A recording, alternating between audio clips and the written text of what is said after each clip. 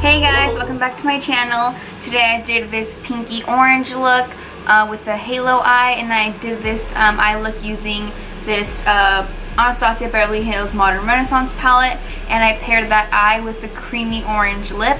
So if you guys want to learn how I got this look, then just keep on watching. Thanks guys!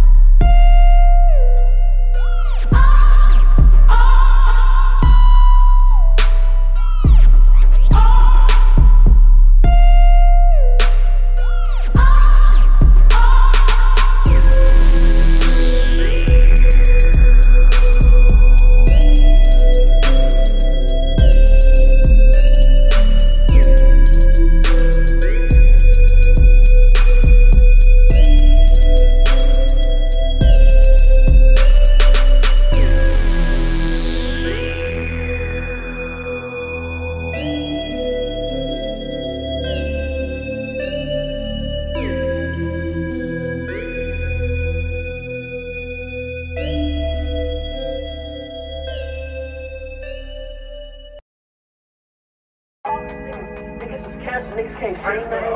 And niggas, look, only niggas can say to me, they can be like, oh, they can, some niggas can say I changed on them because I thought they was on the same shit I was on, but they, not. but they not.